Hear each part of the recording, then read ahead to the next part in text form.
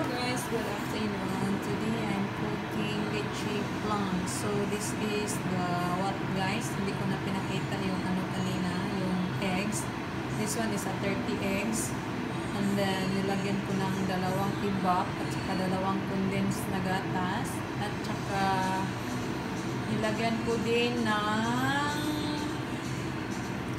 vanilla and cinnamon. Okay, let's start.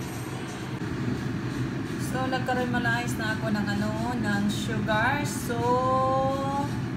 lalagay ko na ang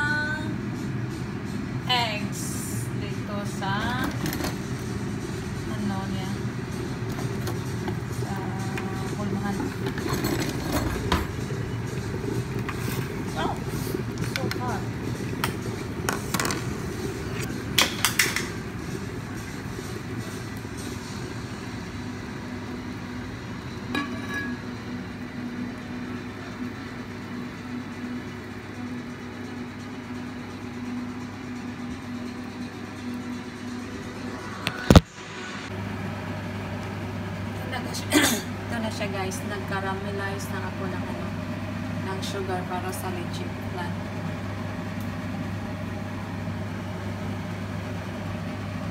Kasi dalawa lang yung maliit na ano eh, maliit na kulmahan.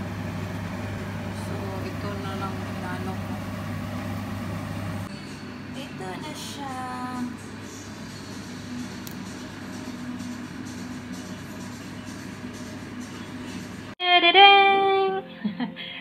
Ito na po yung leche flan natin.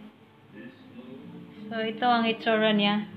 Guys, luto-luto lang to ha. Char-char lang. Pero masarap naman sabi ng asawa ko. Tinikmanan niya to kahapon. Tapos, ngayon ko lang inano. Kasi nilagay ko diretso sa ref.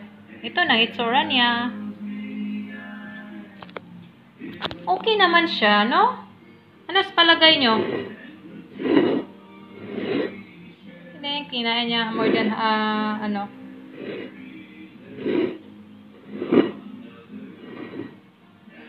Luto-luto lang to guys. Hindi ito, di talaga tong pang, ano, pang professional. Lutong bahay lang po.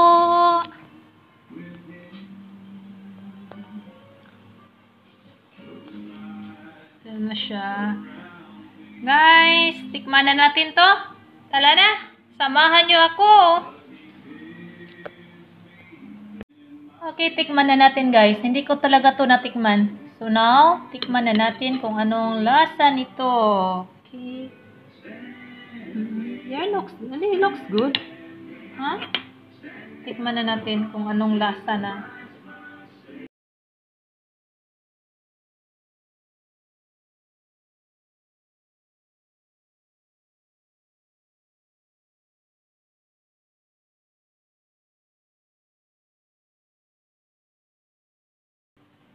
Hala, masarap siya guys. Masarap siya, in fairness. Mmm. Hala, sarap niya. Ano siya guys, walang lasang, ah, walang amoy na ano, itlog. Nawala yung ano niya. Minsan nga kaya nga ayaw kong kumakain ng ano, leche flan kasi yung pag bumili ako sa labas, yung parang malasahan ko yung ano niya, langsa. Ito wala talaga siyang ano, wala kang maamoy. Wala kang malasahan na ano, no malangsa. Masarap siya talaga. Mm. Okay guys, thank you for watching. Don't forget to subscribe and like and hit the notification bell so that you are updated to my next video. Bye! God bless!